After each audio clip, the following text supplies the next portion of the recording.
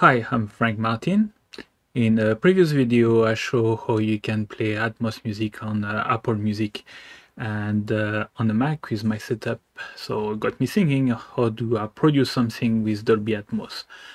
So here is a video a little bit what I found out and uh, how to do it. So first you can go to the uh, Dolby Atmos site and uh, you can get all the tools that you need. Uh, there is Dolby Atmos Production Suite is a 90 day trial. I think uh, normally it costs about $300 to get it, but you can get it for a 90 day trial and then try it and experience it. Uh, you need to download that, and it comes also with an iLok, so you need to register with iLok to get the 90 day uh, license. Uh, also, you've got the Dolby Atmos uh, music panel that you need uh, to use. So this one is for Logic Pro. Um, you've got other tools, uh, I think uh, other DAW that you can use. Uh, Logic Pro has got also its little quirk. So I'm just going to talk about Logic Pro. So once you have downloaded it and installed everything, and for the uh, production suite, I think uh, you need to uh, to reboot. Um, then what you get is you can go into Logic Pro, and I've already set up everything. But what's happening is that you've got Logic Pro, that is going to connect to the uh, Dolby Atmos renderer via the way of plugins. So it comes with a default template. So you just load this template into, um, let me uh, close this object so you can see. Uh, I've prepared everything here. So it comes with a template and this template has got, uh, it's preloaded with uh, tracks. So you've got, um, um, uh, I forgot what it is. I think it's a 7.1 uh, track. Sorry, sorry, it's a 9.1. So it's a 9.1 track, uh, which is a standard into horizontal. And then you've got object from uh, object 11 all the way to object 128. Um, the first one are set up in mono, and then after it's set up with a stereo. So here I set up just a very simple loop that I took from the Apple loop. I set it up and um, I put them on my object 3 33, 34 and object 35, 36. So here I find it uh, back again here and I've got the panel which is already um, set up. You can see in the panel that it's connected via localhost to the renderer. So what's happening here is that um, uh, logic is limited to uh, 7.1. That's the maximum you can do in uh, surround. So that means internally it has got a maximum of 8 channels that you can work with. And Dolby Atmos is 128 uh, channels.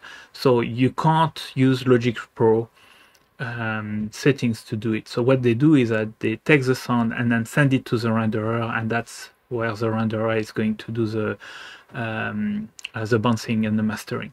So that's what makes it a little bit more complicated than others. There is an announcement that uh, Logic Pro by the end of the year will come with a spatial audio from uh, Mac.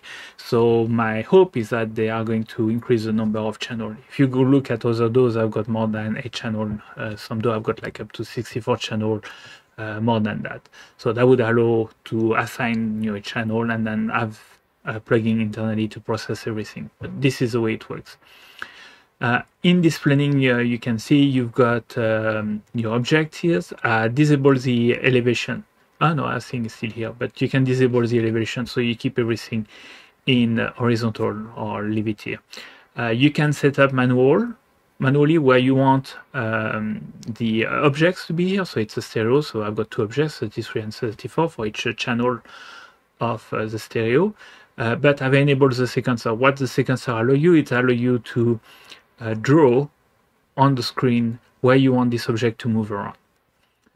So that's interesting.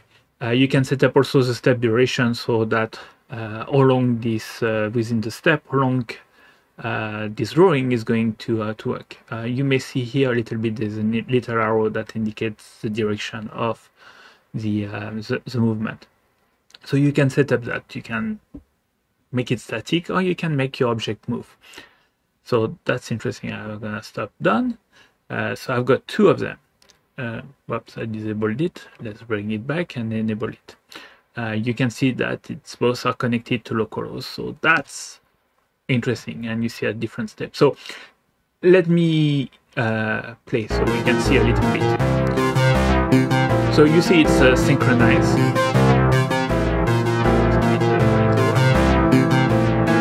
So what you see is that these objects that are moving here are moving also in the renderer and you see here the renderer is telling you which object is receiving some sound.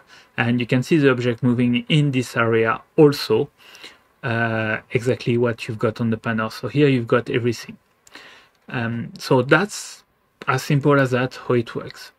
Uh, the difficulty is to synchronize the two. So I didn't do everything that needs to be synchronized um, you've got two options. Either you've got uh, internal MIDI that you can uh, you know use that to synchronize between the uh, Logic Pro and the renderer or you can use uh, an object 129 uh, with a special audio file that you uh, that will be sent to the renderer all right this renderer also let me see also in the preferences setup so in your driver you take the core audio you use the dolby audio bridge so that's where the input is coming from the uh, logic panel will send uh, to the dolby audio bridge and the renderer will pick it up and send it to my Scarlett. So here I put external sync source MTC.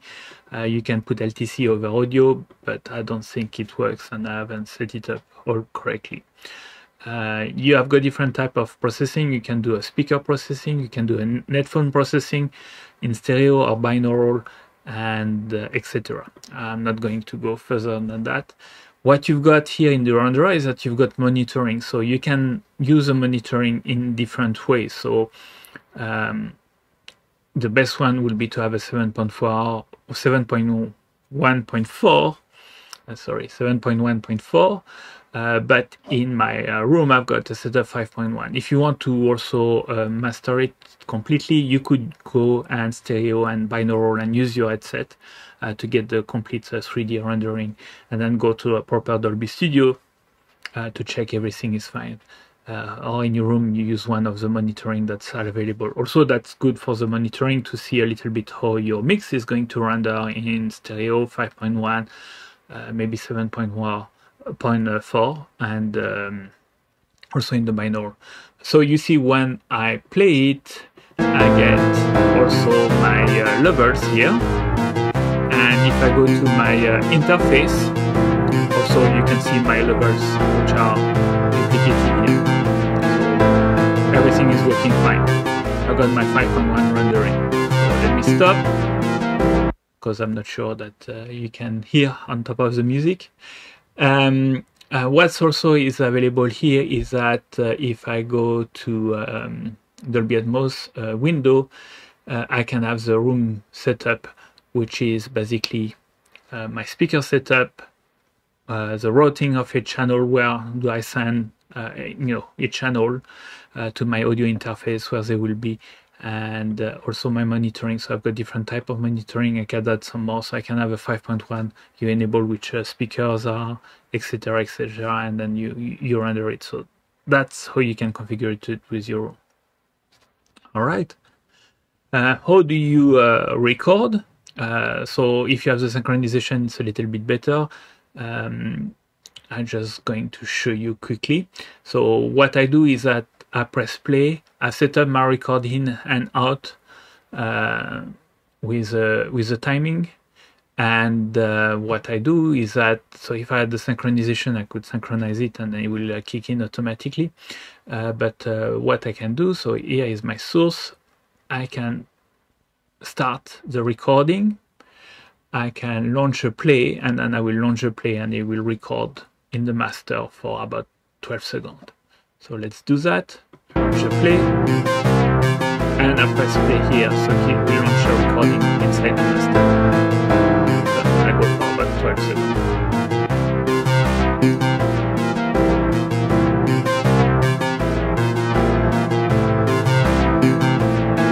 So it's done, it's recorded. You can stop that.